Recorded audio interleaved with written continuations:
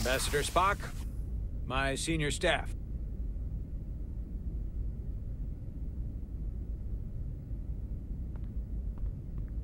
It's not every day that a captain gets to welcome a Starfleet legend aboard. Hmm. You flatter me, Captain Solano. But legend implies the past tense, whereas I am very much focused on our present circumstances. I didn't mean to suggest you were stuck in the past. You're right, Ambassador. Not the most diplomatic choice of words. Your experience comes from the past. But our present situation calls for it. True enough. We were hoping you could fill us in on the details. We got the basics from Starfleet. Two formerly peaceful neighbors are now on the brink of war. Indeed, and the tension between them grows fiercer by the hour.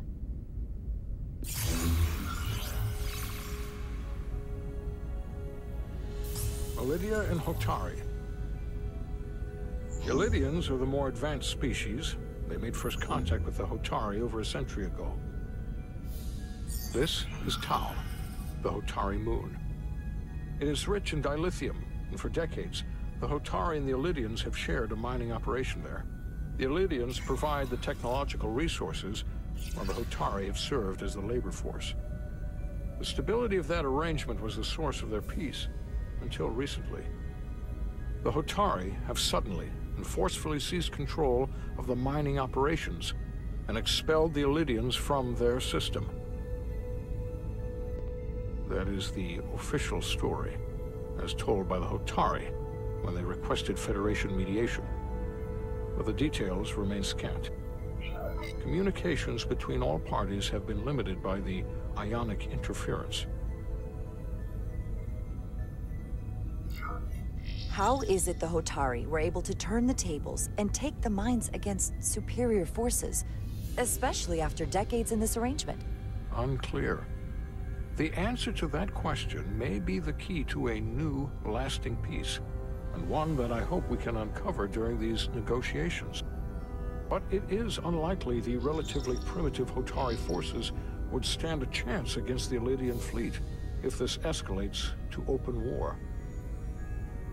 Left unchecked, this conflict will result in more bloodshed, which is what we are here to prevent. And the dilithium trade hangs in the balance. Clearly the Hotari have been exploited in this relationship. Maybe we can persuade them peace is the more profitable alternative for everyone. They both profited from the mines. And for the Hotari, something is better than nothing. Peace is our objective, after all. That is correct. The Hotari just won their independence. It's hard to believe they would give that up just for profit. I agree. It would be exceedingly difficult to bring the Hotari to that position. Neither the Elidians or the Hotari are members of the Federation, so we can't make them do anything. There is an additional complicating factor I should mention. In the past, the Federation has relied on the Elidians as a source of dilithium. That certainly changes things. Federation sources its dilithium from a lot of places. Yeah, and this is one of them. So we've already played a part in this. Unfortunately, that is indeed the case, Commander Rydek. We're morally obligated to make this right. Hold on. Our only obligation is to negotiate the peaceful resolution of this conflict. Given the Federation's involvement in the Elidian dilithium trade, Captain Solano and I must make every effort to appear neutral in these negotiations. What worries me is if this whole thing unravels, and we're at the mercy of the storm at less than full strength. We can't let it come to that. Considering what the Ion Storm has done to our ship, and the Ambassador's shuttle, we have to assume the Elidian fleet has had problems with it as well.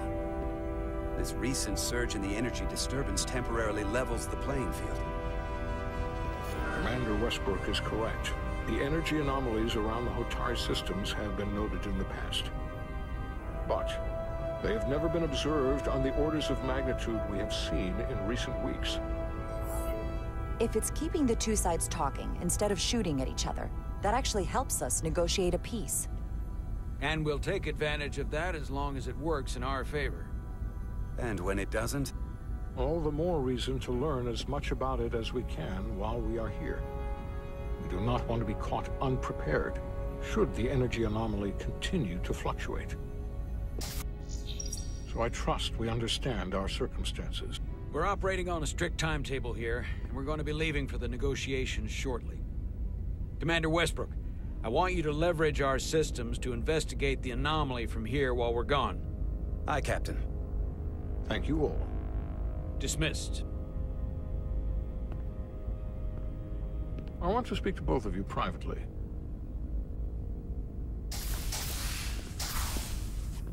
Ambassador Spock, I'd like to make a formal introduction. My first officer, Commander Jara Rydek. Commander, as you are aware, there are limits to what Captain Solano and I can do in our official capacity as representatives of the Federation. But someone in an unofficial capacity, your first officer, for example, would not be bound by those restrictions. Commander Rydek could ingratiate herself to certain parties behind the scenes, where they may be more candid in revealing information that could lead to a resolution. She certainly goes her own way. Maybe that helps in this case. It would be unconventional, but I'm not opposed to it. With all due respect, Ambassador, I'm not a trained diplomat. That's exactly what we're going to leverage. I began my time in Starfleet as a science officer, not as an ambassador. We must be adaptable in the line of duty. Well, I hope Commander Rydek will have more luck finding out what really happened than we will through official diplomatic channels. The fate of the negotiations, the interests of the Federation, and the prospect for peace will very well depend on it.